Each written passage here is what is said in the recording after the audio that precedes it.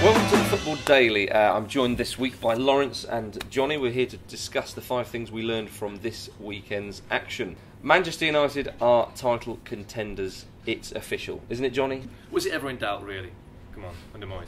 I think it was for some people, certainly. Well, uh, in eighth place, it didn't look too rosy, but I think it was it was a very conservative game. That was atypical of Moyes, but I think given Arsenal's form, we kind of needed that, and we were very much more the dogger team, and we wanted it more. We- We were first at every ball where Arsenal weren't. You know, you've had a good day at the office when you've got three or four candidates for man of the match. So, really good performance. I'm, I'm, I'm really happy for the boys. I think we, we're still lacking some creativity, and it seemed that we kind of bypassed and navigated the midfield issue by not carrying the ball in midfield at all. Laurence, Manchester United for the title. I think the reason I put United for the title or put them in with a good chance of it would not really be so much because of United, but because of the competition in the league and the competitive nature of what goes on. Yeah. And there are going to be a lot of surprise results this season. Mhm. You know, you could lose eight games this season and still win the title. That's right, yeah. Which is that's crazy talking previous seasons, Mm. really, isn't it? Mm. So, uh, with that being the case, I don't know if it's necessarily that the the league is lack, is lacking quality, but it's become a lot more competitive, and that possibly is going to benefit United this season with Mm. the slow start. Yeah, yeah. Well, surely come the end of the season, Manchester United will be there or thereabouts.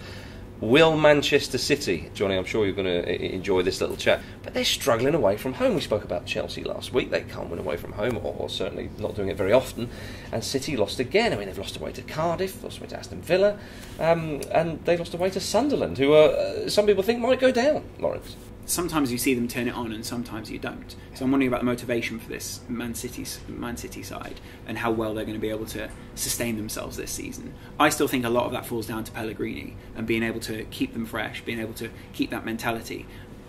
Quite honestly, I think there's a bit of a focus on Champions League from this Man City team this season. They want to do quite well there, and so uh, pre and post uh, Champions League games, I think you see a difference in their form. Yeah, the back line certainly has taken a bit of not Kompany being out for so long. Uh, Mm. is, is, a, is a massive miss, no doubt. But that front line shouldn't struggle to score goals, Johnny. Not really. They were all without David Silva, who they certainly missed, a Yeah. playmaker. But I mean, what, what can your excuses be when you've got Aguero, um, Yaya Toure, who's just in the form of his life at the moment, That's right. and uh, Jesus Navas with his pace, and Yeah, we saw his and great just come on number of Dzeko's times. gone, before. yeah, casually bring on the top class striker, Exactly, yeah. third choice. The more I see City, the more, the more they look like very well paid mercenaries who don't know each other, don't necessarily speak all the same language, don't know the Man City culture, um, and I just think they turn up for the big games and not necessarily um, those in the bottom half. Tottenham Hotspur aren't scoring goals. They're just not doing it at the moment, Johnny. Why is that? It's hard to say, isn't it? I think the one the one focus you've got to look at is uh, Roberto Soldado, the man Yes. from Valencia. He's just not really looking at it like his other races. He's a big burly guy, so he should be quite suited to the English game. Yeah. Um, whether or not he's, he's just ex- quite exhausted by the pace of it, Yeah. that, that could well be the case. Uh, when it comes to Spurs, you know, you can create as many chances that you want as you want, like they did against Newcastle, and Tim Krul can have a great game. Well, my goodness, yeah. Um, and so you could say they're unlucky, but at the same time, the the point has to be made. Just finish your chances. That's right. Put it where the goalkeeper's not Yeah. going to get it, and don't give him a chance. Yeah. And that's what they lack at the moment. It's not not, not necessarily just finishing. It's creating chances which are actually chances, not just half chances or chances that mm-hmm. might go in. Southampton are challenging for a European place. They are. They're three points off the top. Johnny, are they going to finish in the top four, maybe? The top five? The top six? I think not. I mean, it's a very romantic notion. I really like what they're doing. Mm. Fantastic attacking play. But it's a case of if you look past um, those great individuals, they've got Lallana, Rodriguez, Lambert, uh, a great back four, and you know two fantastic holders in Schneiderlin and Wanyama. When you look beyond that, they don't really have a great squad. And we all know the Premier League is very much a squad game. Okay. So I think that's where they're going to come unstuck.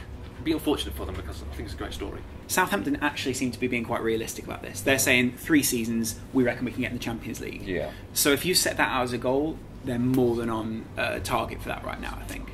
In Italy, Juventus beat Napoli 3 0, brushed them aside. Uh, the second team uh, played the third place team. Of course, they were first and second last season. Uh, Roma are still top, but Juventus uh, got a bit of ground back there. Uh, Juventus looking very strong. Uh, still the team to beat, perhaps, despite Roma being unbeaten this season so far. Roma are the team to beat in Serie A this season because they haven't lost. Okay, and, fair enough. And Juve have only lost one game. Having Yeah. said that, they've they've got the same amount of wins and only one draw less. Mm. So I, I'd say they've been unlucky to not have the, a similar record to Roma this season. Um, they still play great football. Mm. You know, they are. Are they going for their third title in a row here? I think something like I that, think yeah. so. The only thing that might not serve them so well is that Roma don't have that big European weight around their on their shoulders this Mhm. season, and Juve do. Um, and also, they want to be building for the future. I think January could be quite a critical time for Juventus this season. Mm, uh, well, certainly playing some fantastic stuff at the moment in Serie A. Thanks very much for watching. That's all we've got time for this week. Thanks to Laurence and Johnny, of course. Well done, chaps. Excellent stuff. Uh, do leave your comments below and uh, join us next time.